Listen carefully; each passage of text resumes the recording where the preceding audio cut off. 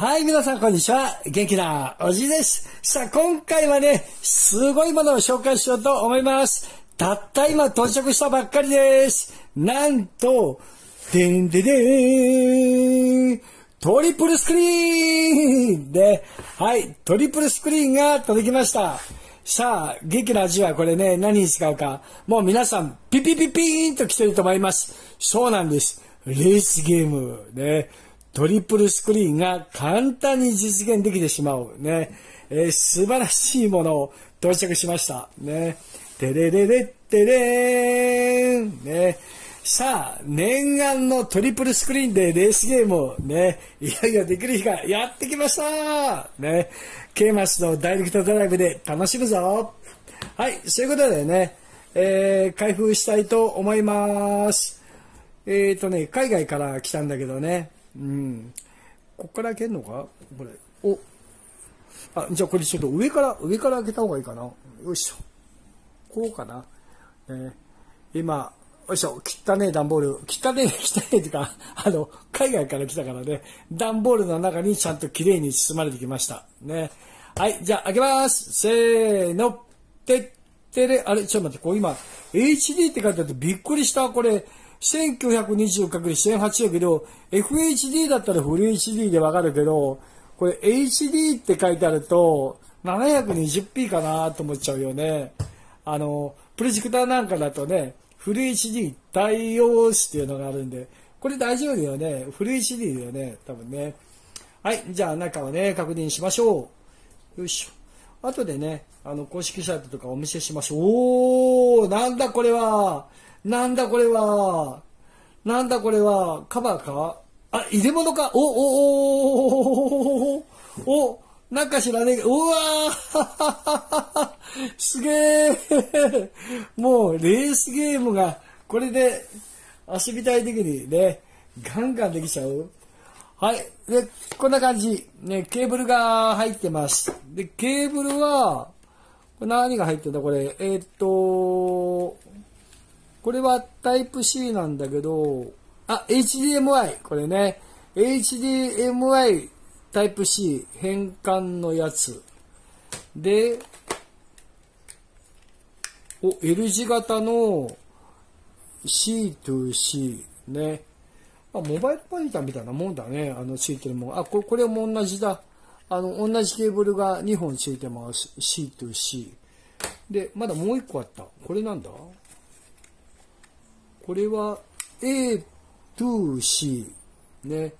ということで。いや、おじい的には、これ、これじゃないや。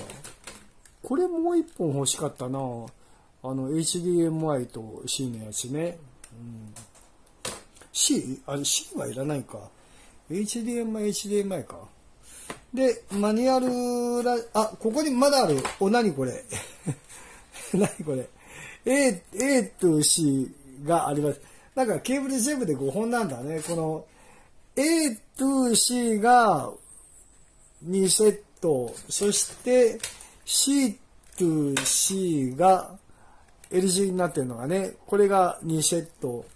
で、えー、C と HDMI が1個なんだね。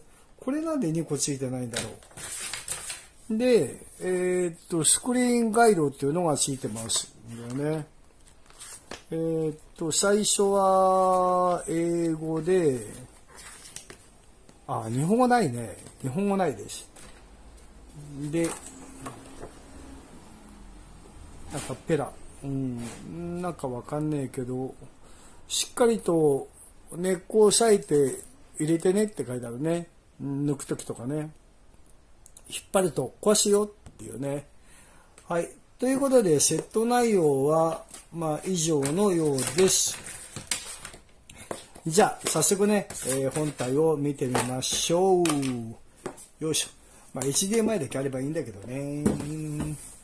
はい。じゃあ、ちょっと、ローアングルにして、ね、いや、ワクワクするね。めちゃめちゃワクワクするね。ちょっと待って、箱。一応、一応ちょっと紹介の動画なので、一応商品をこう、箱、見えるようにしてね。はい、見える？はい、じゃあね、えー、トリプルモニター、ご対面。はなんか、すげえいい、こう、ほら、こんな丈夫な、ね、保護カバーっていうのを、ああ、すげえなしっかりしてるななんか、今まで紹介したものの中で、なんか、とてつもなくすごいっていうのは、なんとなく伝わったんかな。ね。いや、嬉しくなっちゃうないやー、ここになんかついてるよ。これね。これ持ち運びできるやつだね。あ、これなこっから外すのかなこれなんだろうなんかゴムが。あ、これね、こ、こ、こ、こ、バッグになってるこれ。バッグになってるこれ。ほら、持ち運びしやすいようにバッグになってる。ね。はい。トリプルモニターを、ね、簡単に持ち運びできるバッグになってまーすいやー、これちょっとテンション上がるね、これね。はい、開けます。よいしょーね。これ結構ね、ほら、丈夫、ね、当たっても大こ、こっちはペダリンだけど、こっち側は衝撃が大丈夫です。こっち側を外側にして持ってれば、なんかこう、ボールがで、ポーンってこう当たってもね、大丈夫だよっていう、そういう作りです。はい、それではね、えー、トリプルスクリーン。ね。どっちが前だ？まずは、これかな？これを、ペロペロを、はい、まずね、このペロペロを取りましょう、ペロペロ。ね。はい、ペロペロを取って、これ、これ、これなんだろう。これは？足？ああ、これ横になるのか？どっちが、これどう開くんだ？ちょっと待ってよ。ちょっと待ってよ。最初に、どっち側に開くのか？どう開くんだ？よ。ん？こう上だよな。あ、こうか。んあ、違うな。え、ちょっと待って、どっち側に、どっち側に開くんだ？ちょっと待ってよ。物理でこっちにもなんか丸いな、こっちにも丸い。どうやって開くんだ、これ。あ、こうだこうだおーどっちが上だ？ちょ、ちょっとね、ちょっと離かさないと大きさがあるので、よいしょ。ね、えー、っと、どっちが上なんだ？ここで、ん？あ、これこうか。え？こうか。あ、こうだ。えー、っと、文字がひっくり返ってるから、こうか？こうだ。こうだ。ね。これモニターなの？なんかすげえ、なんかあの、ちゃんとアンチグレアのあれがついてから、これ取らないでおこうかな。あ、ちょっと待って。あ、アンチグレアだ。あ、すごくいい。ほら、ほらほらほら、アンチグレアだ。あ、すげえいい。すげえいい、これ。アンチグレアだ。やったーほら。アンチグレアだわ、ほら。わーい、すごい見やすい。アンチグレアイエーイおじいはアンチグレアが大好きですね。反射するやつ見にくいからさ。あー、これいいねアンチグレアだよ。いや、あの、最近さ、タブレットもモニターもさ、光沢ばっかじゃん、ほんと。これどっから撮るの？こっちか。よいしょと。アンチグレアだよ。で、これのモニターはなんかオープンってあるけど。ん？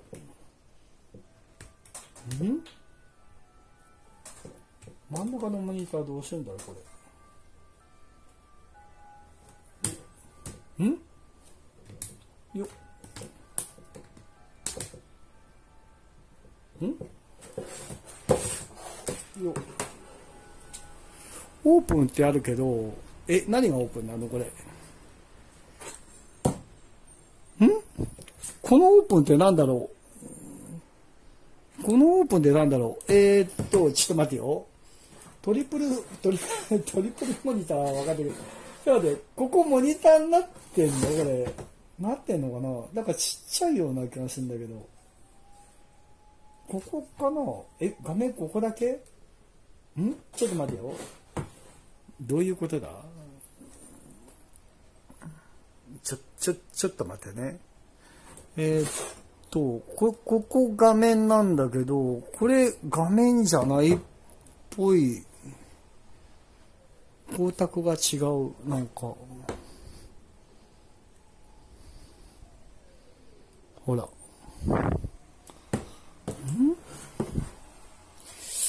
ちょっと待ってよ。えー、っと、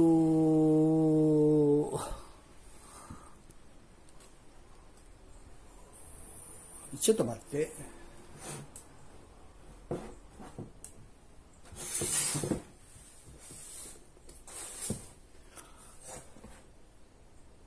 ここの部分って、ここの ここの部分って、どこにあるんだろう？ここの、ここの画面ってどこにあるんだろう？トリプルスクリーンだよね。ラップトップスクリーンエクステンダー。トリプルスクリーン。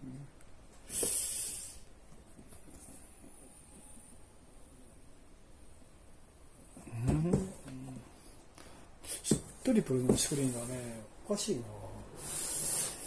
えー、っと、ちょっといまいちよくわかんないけど、ここに、ここのところに何か、あ、これね、右、右左のなんかあるけど、これちょっとですね、どうやって作るんだろう？え、真ん中のモニター、真ん中のモニター、それを、えー、えー、っと、さっきの後ろのこれは、ひっくり返らないように、なんかこう、こういう、こういうギミックがあって、おーすげえなんか、ここのところ、あーすげえギミックだほら、これ、これね、これね、すごい、ここうやって、ここで止められる。で、こう、これね、これ残念だね。あの、楽天ハンド、多分、フォーカス無理なんだね、これね。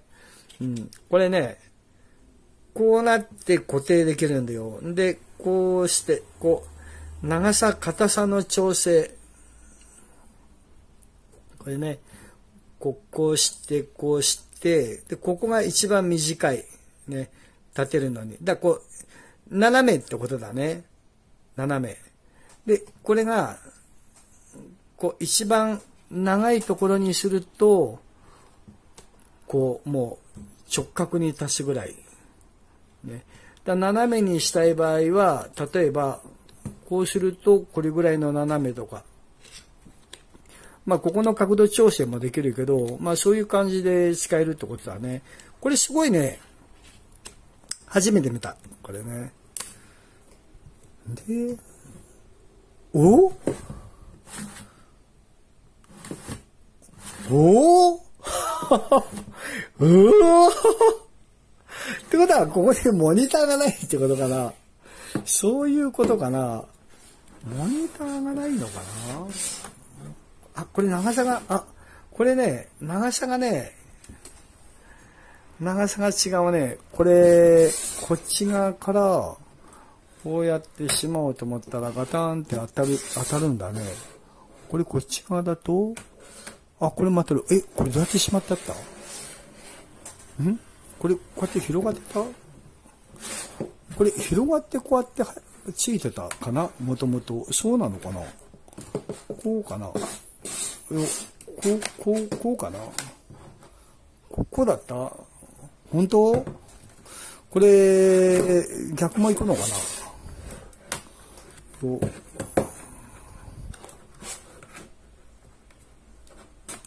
ょ、ちょっとうまくいかないね。ってことは、こっち側から限定かな？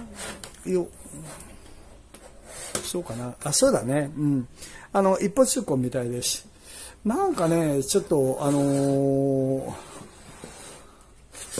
今、今、おじいの頭の中、何が、あのー、びっくりマークがあるのか、多分賢い皆さん、多分させてくれてると思うんだけど、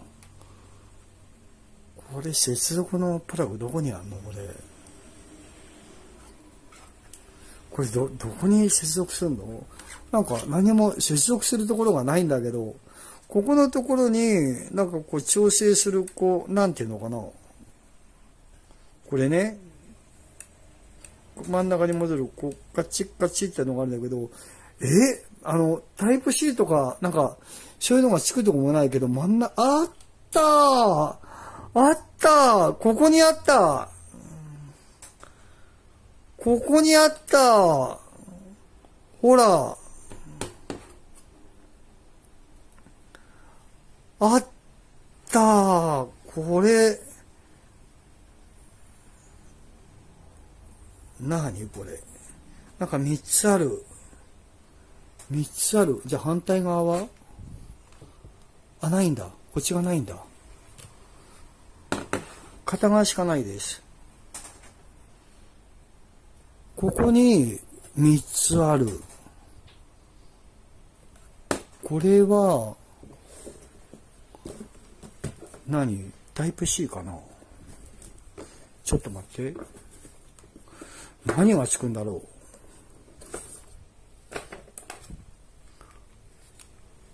タイプ C かな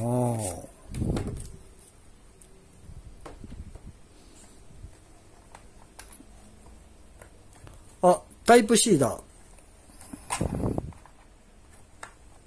ここもタイプ C だ。ここもタイプ C だ。ってことは、えー、っと、一つは電源供給で、二つじゃあ映像ってことかな。真ん中がなんかないもんね、だって。あ、なんか書いてある。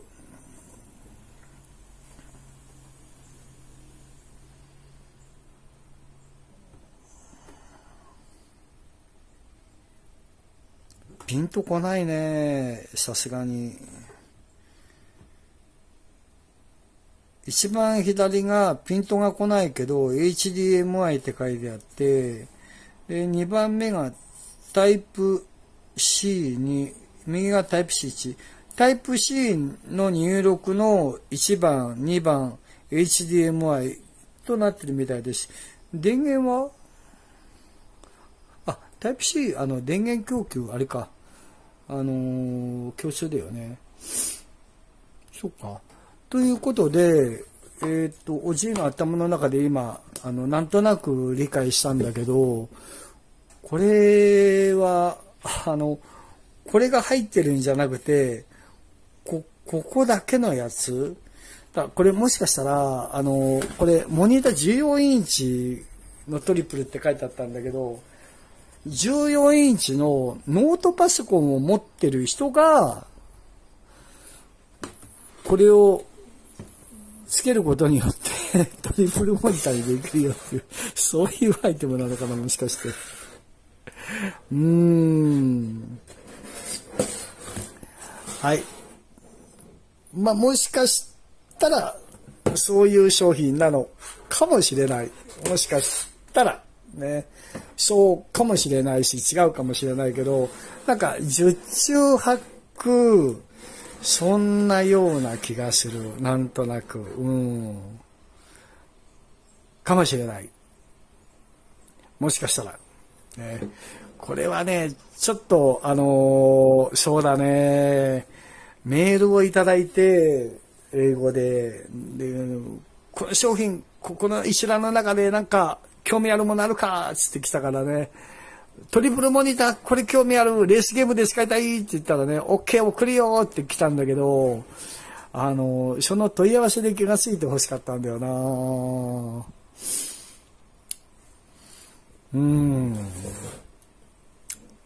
ということで、そうなんだよ。おじい、タイプ C の後ろのやつ持ってないよね。おじいがね、のマザーボード、タイプ C は、確か、ケーマスの時に検証しようとして、あの、出力対応してなかったんだよね、映像はね、マザーボードで、えっ、ー、と、GTX2060 は C はついてないんで、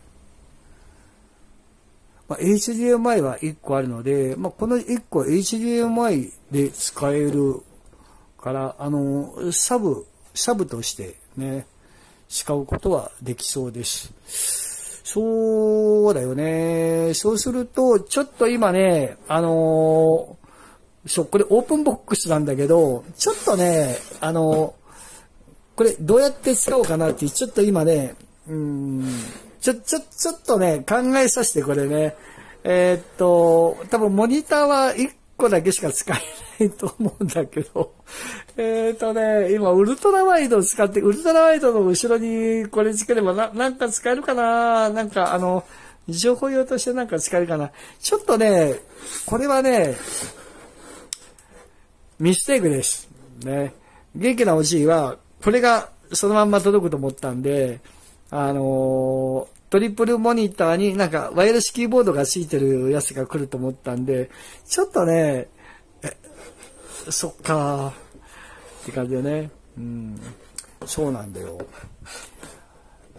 担当者さんも気がついてほしいよなうん、ケマスとタイアップしてるから、あの、レスゲームで、え活躍するよっては言ったけど、トリプルモニター、ね、トリプルモニターでできるよ、つってね、その説明してたんで、いや、真ん中の画面がないぜ、ベイビーって言ってくれれば、はって気がついたんだけど、そっか、ちょっとこれね、想定外だったんで、あのー、今回は、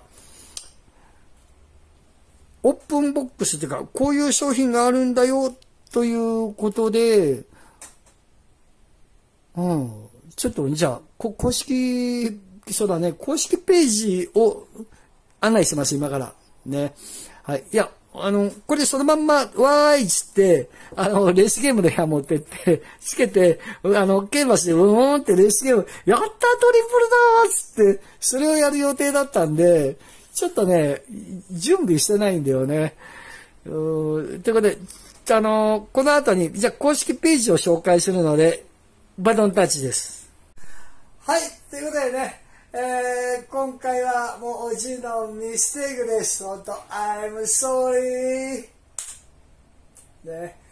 はい、そういうことで、えー、そうなんです。ここ、今ね、準備して、あ、ここをしっかり見ればよかったなと思った、あのー、最初の来たメールの間ね、パッと素で判断しちゃったので、あの、そうだね。ミステイクです。はい、えー、今回はあ公式ページね、えー、こうなっております。で、えー、まあ、見てみると、今回 S1、S2 なんとかなんとかってあって、えー、今回は S2 というやつだったんだけど、14インチトリプルラップトップスクリーンエクステンダーというやつで、えー、この商品になります。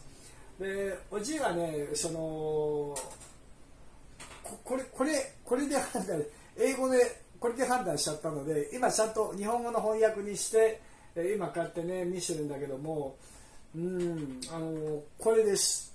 で、えー、トラベルウルトラトリプルポータブルモニターってねこれも日本語に訳してもお、まあ、トラベル旅行にも持っていけるうあのウルトラなトリプルのポータブルモニターだからあのやっぱり3画面だよっていうね。ちょっとあのそう思い込んでしまいました。ね。そういうことで、えー、本当ねまあこれはトライアル期間もあるそうなのでね、えー、今回ねこれね、まあ、ちょっと何かで試してもいいけどそのまんまお返ししようかなと思います。うちラップトップ持ってないでね。1年間の保証もついてますね。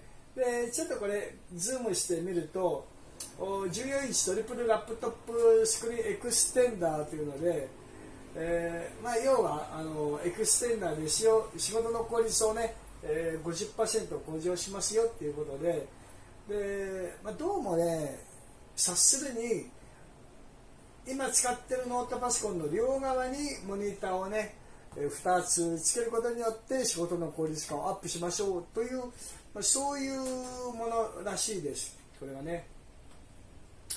なので、まあ、トリプルポータブルモニター Windows 専用トリプルポータブルモニターっていうまあ、この書き方もどうかなとも思うけどおじいはてっきりパッと見た時に3画面になんかワイヤレスキーボードのおまけがついてるのかなってあの FireTV スティックのほらなんだっけあのあるじゃん。あのここにさ、の FireTV スティックの、ね、まあこれ言い訳になっちゃうんだけどもあの FireHD がここにあってこれはまってるだけなんだけどあのこうやって売ってんじゃんね。でこれをねこうやってあのくっつけてさ使うわけじゃん。こうやってねあのそういう商品なのかなと思っちゃったんだよ。C は勝手に。これねうんだからまあちょうどキーボードもねあったら便利だし、まあ、トリプルモニターにモニターがあのキーボードがついててねああ便利便利って思っちゃったんだよおじいは。ね、そういうことで、えー、14インチのトリプルスクリーンなのかなと思い込んでしまいました。であとはねマシンのカラーレタリングですよということで、まあ、の IPS パネルって書いてあるのでこれね。うん。IPS パネルで、えー、60Hz ね、えー、対応しているので本当に綺麗だよね。で光沢ではない。で非光沢だから反射しにくいからものすごくね効率がいいです。あの目に優しいからねすごくやりやすい。あのテカっちゃってると疲れるんだよ目がね。だからね、まあ、そういった意味でもこれはものすごく使いやすいモニターだなっていうのがねうんまあ、想像できるかな。視野角も178度あるので、ね、見やすいです。iPS パネル、ね、これもこれも iPS パネルだからね。一応ね。それで、まあ、複数の使用シーンということで、ね。えー、まあ、あのミーティングに使える、ね、で株式の分析をしたりとかねこう両側にねいろいろ。で画像ビデオの編集したりとかおじいやんないけどね。えー、まあいろいろこれこれエンターテイメントこれこれでねレースゲームやりたかったんだよ。おじいはこれでね。でなんか医療学なんだかわかんないけどもね、えー、データの整理と作成やったりとかまあいろんなものに使えるわけです。でビデオの互換性はねあの MacOS、MacBook Air とか、まあ、Mac にいっぱい対応してるみたいでちょっとここ気になったのがプレステ4にも対応してるプレステ 4?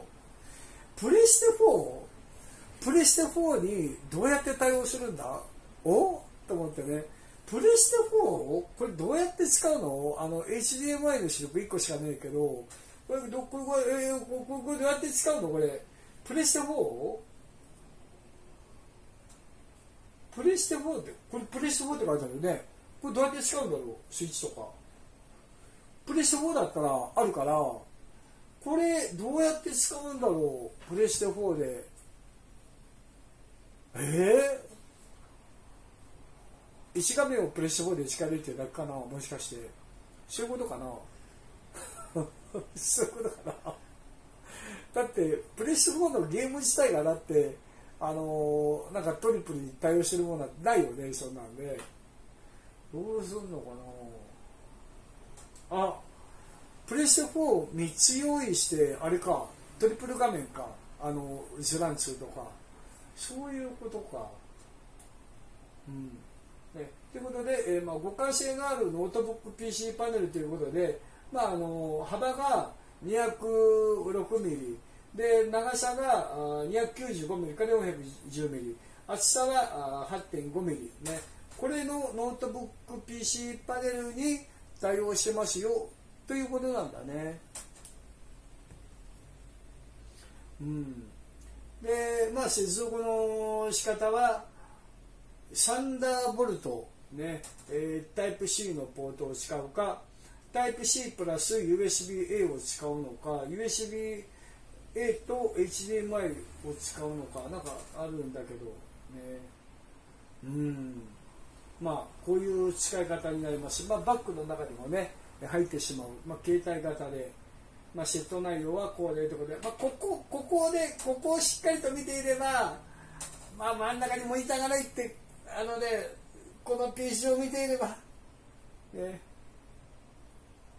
はい。ということで評価はねものすごくよろしいです、ね、はい。ということで、えー、お値段の方は5万9990円が38%オフで3万6999円。なんだけどえーと、あの希望があればクーポン発行するよっていうメールがさっき来ていたのでまあそうだね、まあ、クーポンを発行してもらうとしてアフィリエイトの登録でねあの売れたらバッグくれるよって言うけどおじそういうのはやらないのでそれはあのいらないよって最初言ってるけどね。気が変わりませんかってあのメール来てたんで、うん、あのそれをビジネスにしようと思わないのでそれはやらないですね。アフィリエイトリンクは貼らないです。なのであの普通のリンクで長いリンクをねこの下に貼っておこうと思います。そういうことで、えー、おじいね失敗したなと思ったのは4択の中でねこれにすればよかった。これだったらここに置いて買って使えたんだよね。これね。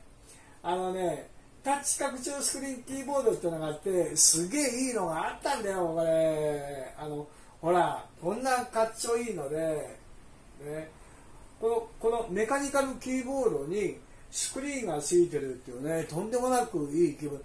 俺キーボードがちょうどダメになってきてたからああもうこれにすればチェンジチェンジチェンジね担当者さんあのあのこのモニター返すんでこれ送ってくんないっすかこれダメですかねあの Change please ね S2 back ね、えー、K3 welcome ね please はい、ということでね、えー、あもうなんでこれを最初から選ばなかったんだろうね。ということで、まあ、13インチモニターがついてるね、キーボードだそうです。かっちょええね、メカニカルキーボード。わいいなおじいはこれがいい。これ使いて これ使いてこれがいい。チェンジプリーズ。はい。ということで、えー、今回はあのオープンボックスの動画としてうん動画作ったけどもちょっとねうん使う使わないでこれこのまんまお返しした方がいいかなと思うのでちょっと次の動画考えます。うんちょっとどうなるかわからない。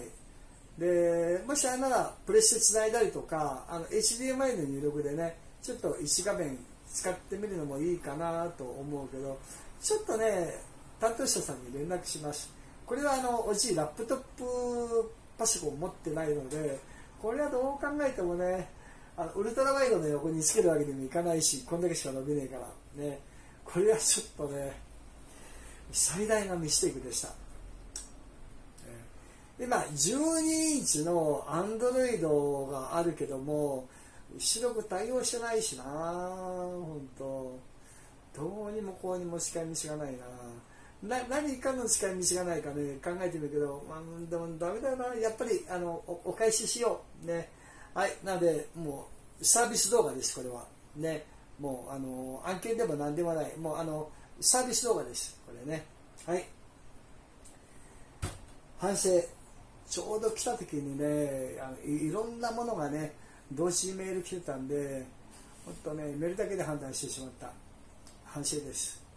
ちゃんと商品をよーく見て吟味してから返事しないと、ね、こういうことになるんだね。あ魔の火曜日だ。でということで、えー、今回は本当にね、あのー、もう、アイムソーリーのミステイクだったので、でもまあこういう商品があるんだよということで、興味を持ち方はいらっしゃると思うので、一応この動画の説明欄にね、えー、アフィリエイトではないリンクを貼っておくので、興味のある方はそちらをご覧ください。で、クーポンがね、欲しいよって方がいたら、担当者さんに請求するので、ね、えー、あとはあの下に追加で貼りたいと思います。はい。こんなわけで、まだ追加の動画は作るかどうかわからないので、一応担当者さんに謝罪のね、連絡とおお詫びの連絡をしたいと思います。以上です。しっかりと確認するんだよ。皆さんねお買い物する時にはどんな商品なのかしっかりと確認してお求めください。以上です。最後までご視聴いただきありがとうございました。またね。バイバイ。